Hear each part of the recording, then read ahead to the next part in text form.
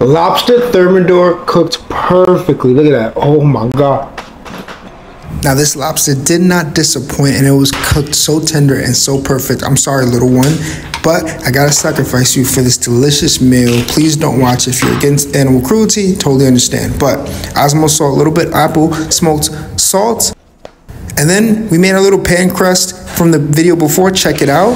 So simple, broil that up, and you are good to go. Lobster lovers, you will enjoy this. Definitely a must try.